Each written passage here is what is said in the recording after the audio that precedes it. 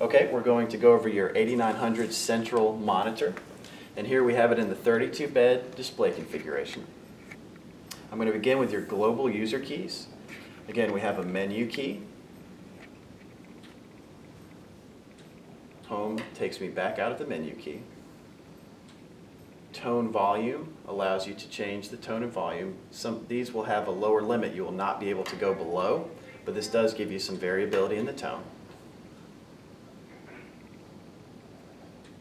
Bed transfer allows you to keep the information that you've that you've accumulated on one patient as you switch pieces of equipment. The steps include choosing the piece of equipment that your patient is currently on, and then choosing the piece of equipment that they will be moving to. You're then prompted to, to verify that you would like to, original, to delete the data from your original monitor and transfer it to your new monitor. If you would like to do so, you press yes, and the information accumulated on your first monitor now has gone over to the new piece of equipment that the patient is on. Color setup allows you to change the color of the waveform based on patient status or DNR status, uh, again, according to your hospital policy.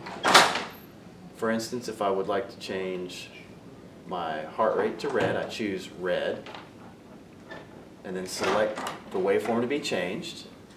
I'll press, I'll press home to back out and now you can see that the waveform and heart rate have turned red, making it an easy, easy visual cue that my patient status has changed. Again, color setup, select the color, and then press the waveform to be changed. Home to back out. The next user key is the parameter on-off key. This key allows you to, in the, in the example of using the 7230, if I was using the 7230 for just uh, SpO2 and not ECG, I would, in order to keep the check lead notification from taking up screen space, I can select ECG off, and then when I go to my home page,